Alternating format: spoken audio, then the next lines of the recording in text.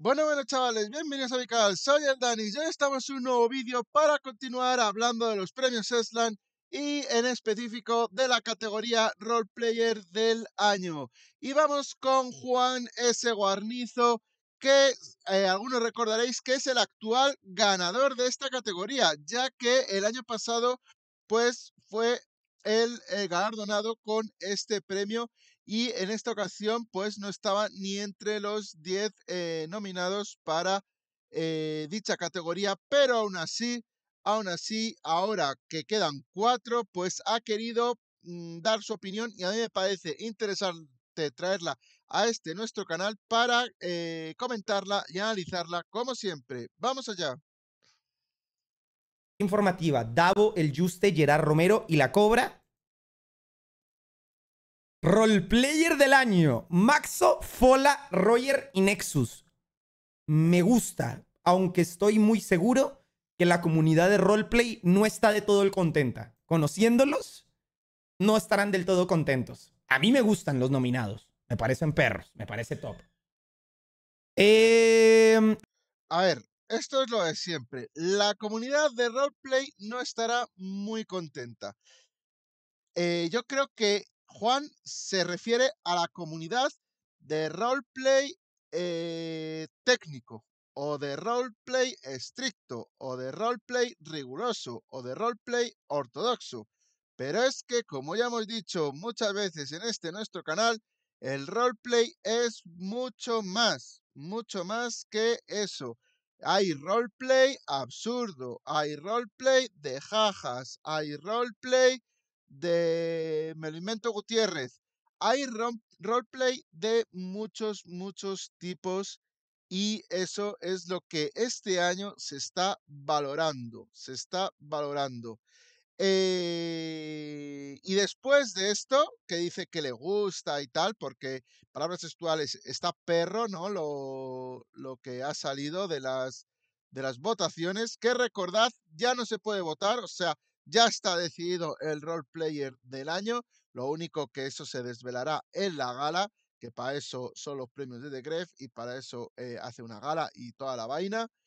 Eh, según Juan Guarnizo, pues le gusta, le gusta los eh, finalistas, que en mi opinión, como ya he dicho en anteriores vídeos, son los más mainstream, son los que más comunidad tienen y por lo tanto más apoyo han obtenido. Y la comunidad no se hace de la noche a la mañana y no se hace por casualidad ni por suerte, se hace por duros años de trabajo, ¿vale? Así que los cuatro que están nominados, pues evidentemente se lo merecen, al igual que el resto de candidatos que estaban nominados y que finalmente pues han quedado estos cuatro, como pueden haber quedado otros, otros diferentes, pero la realidad es que han quedado estos. Y después de este breve comentario, pues ha hecho su propia quiniela de quién quiere que gane y de quién le gustaría que, no, a ver cómo es, quién le gustaría que ganase y quién cree que va a ganar. Dos cosas diferentes. Vamos a escucharlo. Roleplayer del año. ¿Quién quiero que gane? Fola. Me gustaría que ganara Fola para que tenga un reconocimiento en rol que creo que se le debe desde hace muchos años. ¿Quién creo que va a ganar? Yo creo que gana o Maxo o Roger. Streamer promesa del año y deja fuera a Nexus. A Nexus ni le menciona. Y eso que eh, son amigos, o eso tengo entendido yo. Lo cierto es que em, ya hablamos en este canal de que hubo un intento de Juan S. Guarnizo por jugar en Belun con Nexus. Nexus ya tenía el equipo cerrado con sus amigos. Eh, y igual eso ha, influido en que este año eh, Nexus y Juan Guarnizo pues apenas hayan tenido interacciones. Eh, que puede que esté todo ok o que puede que haya habido pues algún tipo de historia o simplemente eh, un gosteo por parte de el arqueano ya que pues Juan Guarnizo, quitando su grupo de habituales, y, me refiero pues al Dead, a Barca, Roberto Zane, etcétera. Este año no es que sea muy pródigo en amistades fuera de ese círculo. Y, es una realidad. Eh, Nexus nunca ha dicho una mala palabra acerca de Juan Guarnizo, pero es cierto que este año pues apenas ha habido interacción. Eh, no sé si se cruzaron un poco al principio en Minecraft Extremo y poco, poco más. Mm, o sea, poco más que creo que nada más. Eh, sí que fue invitado a la primera edición Nexus del Hoyo de Juan, eso sí que es cierto, pero creo que ni siquiera, o sea, hubo interacción, o sea, hubo invitación, Nexus participó en, ese primer hoyo, pero, pero no hubo mm, coincidencia, creo, creo.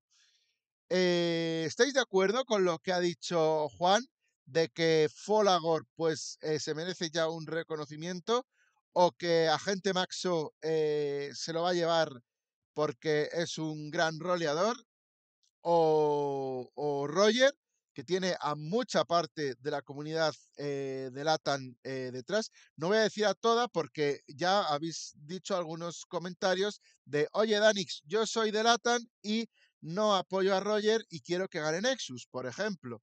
Eh, que al final lo de este va a ganar el premio por español o este va a ganar el premio por latino es, mm, a mi parecer, una tontería. Eh, ganará el premio por dos factores fundamentales. Dos factores fundamentales que es, uno, el apoyo del público, es decir, barra su comunidad, ¿vale? O sea, aquí hemos visto que, eh, a ver, vamos a, a echarlo un poco para atrás para tener la imagen. Ahí lo tenemos, de los cuatro finalistas. Aquí tenemos cuatro grandes comunidades, es una obviedad. Eh, posiblemente el que tenga la comunidad más grande sea Nexus, pero la comunidad de Roger no se queda atrás. Eh, y, Maxo eh, tiene una peculiaridad y es que no solo la apoya su comunidad, sino que puede pillar bastantes, bastantes votos de otras comunidades, al igual que Folagor. Así que todo está bastante, bastante en el aire, en el aire.